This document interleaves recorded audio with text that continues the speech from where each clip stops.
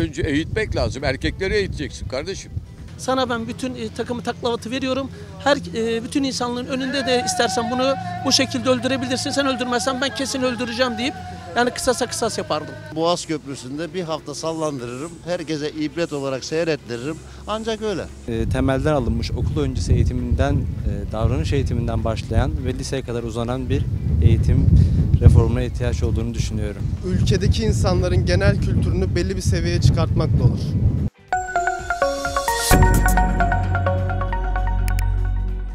Kadın cinayetleri sizce nasıl durdurulur? Ee, kadın cinayetlerine bence yeteri kadar ceza uygulanmıyor. Yani insanları bu konuda caydıracak cezaların olduğunu ben düşünmüyorum. O yüzden bu kadar rahat hareket ediyorlar diye düşünüyorum. Yani e, yaptırımları biraz daha artırmak gerekiyor. Kadın cinayetleri durmak için önce eğitmek lazım. Erkekleri eğiteceksin kardeşim. Yani önce erkekleri eğiteceksin. Kadına nasıl davran? Peygamberimizin bunda şeyi var. Ne diyor? Eşleriniz size emanettir. Kadınlarınız size emanettir. Onlara iyi bakın diyor ya. Bunu bilmeyen adam kadını tabii ki taciz ediyor, şey yapıyor, işte betona gömüyor, bilmem ne yapıyor. Eğitimle anca çözülebilir. Eğitim yok. Ve iyi bir eğitim vereceksin. Yani yasalara ağırlaştırılması lazım yani. Başka türlü durdurulmaz. Yani insanlar e, yasalar hafif olduğu sürece bu şey şiddete devam edecek yani. Yani bu şekilde başka olmaz yani yasalara ağırlaştırmasa olmaz.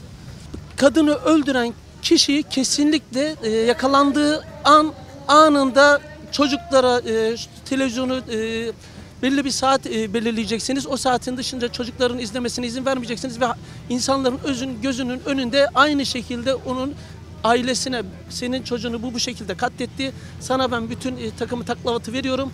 Her e, bütün insanlığın önünde de istersen bunu bu şekilde öldürebilirsin. Sen öldürmezsen ben kesin öldüreceğim deyip yani kısasa kısas yapardım. Vallahi bana bıraksalar tamam bir cinayet işleyen birisini alırım Boğaz Köprüsü'nde bir hafta sallandırırım. Herkese ibret olarak seyrettiririm. Ancak öyle. idamla kısasa kısas erkek olsun kadın olsun öldürüldüyse öldürülecek yani başka çaresi yok. Çünkü insanların iki sene yatıp çıkması veya beş sene yatıp çıkması onları durdurmuyor. Yani gözlerinin korkması lazım. Erkeği de öldürseler hani o gün erkek cinayeti de olmuş kadın yapmış e, sevgilisiyle ona da aynı ceza gelecek. Kadın içinde hani bunun erkek ya da kadın ayrımı yok. E, bu affedilemez bir şey yani. Kimse öyle elini kolunu sallayıp e, birinin evladını öldüremez. Haksızlık yani. Kesinlikle idam lazım. Erkek adam böyle yapmaz zaten. Erkek olsaydı azıcık erkek olsaydı bu kadarcık böyle yapmaz zaten. Hani bunu önlemenin en iyi yolu da ülkedeki insanların genel kültürünü belli bir seviyeye çıkartmakla olur. Ee, kadın cinayetleri yani bence net bir yolu yok. Ya çünkü e, bu bir irade meselesi. Aslında bir yani insanların iradesi var. İyi veya kötü olmayı insanlar kendi seçiyor.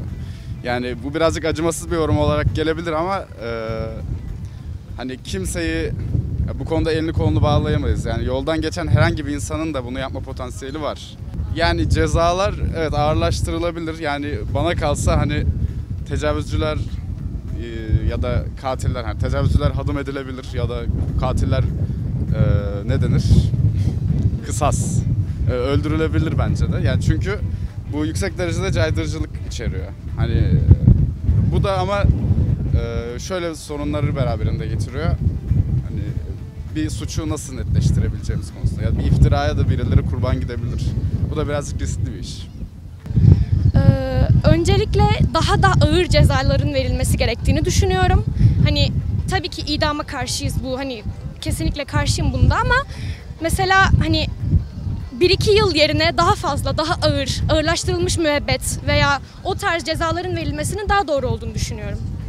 Kadın cinayetlerinin önüne kısa ve uzun vadede yaklaşmak lazım. Çünkü bir toplumsal bilincin gelişmesi birkaç nesil alabiliyor. Kısa vadede tabii ki de şiddetli cezalar ve e, çok ciddi bir kamuoyu çalışmasına ihtiyaç var. Uzun vadede çok e, temelden alınmış okul öncesi eğitiminden, e, davranış eğitiminden başlayan ve liseye kadar uzanan bir eğitim reformuna ihtiyaç olduğunu düşünüyorum. Hani eğitim şart gerçi ama eğitimden öte insanlar bilinçlenmeli ya. Sağlıklı düşün yani şimdi şimdiki nesillerin e, sağlıksız düşündüğüne inanıyorum ben. Aa, bilinçlenmeleri gerekiyor. Ondan sonra e, ne bileyim bu yani bu süreç bu süreç de insanları biraz sıktı galiba. Bu virüs do- dolayısıyla virüsten dolayı insanları sıktı. Bunalttı herhalde. Sanırım biraz da ondan onun etkisi de var. İşsizlik de arttı. On- Ondan sonra işsizliğe çözüm bulunursa belki insanlar daha böyle bilinçlenir. Daha bir bakış açıları değişir. Benim inancım o yani.